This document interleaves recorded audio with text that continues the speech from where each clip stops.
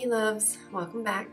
It's been a pretty obtuse October for me, especially with all the self-examination and pivot turns. It's like Ross in that episode of Friends when they're moving the couch.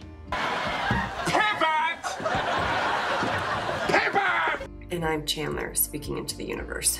Shut up! Shut up! Shut up! But life has a way of figuring itself out, doesn't it?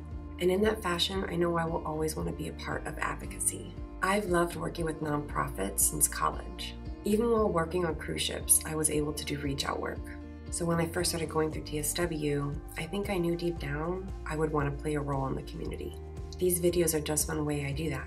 And preventable, can't forget about her. So with that being said, I have an ask. This week is my birthday week. October 30th is my actual birthday. With all the transitions and transformations happening in my life right now, things have been feeling a little overwhelming. My ask from all you amazing people in my life is to show me a little love on my birthday.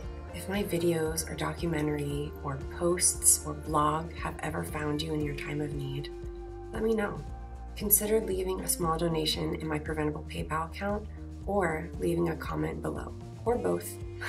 it would mean the world to me. Hearing from you guys and your feedback is always a win. And if you aren't tired of me yet, I'm gonna try something else out. I am going to create an email list to keep you guys updated on all things eczema and TSW. I'll even throw in some personal stories here and there. There's even a way for you guys to participate, like sharing your story with me. If you're interested and you want in, fill out the form link in the captions. It'll take you 30 seconds. I love you. I see you. I am you. Until next time.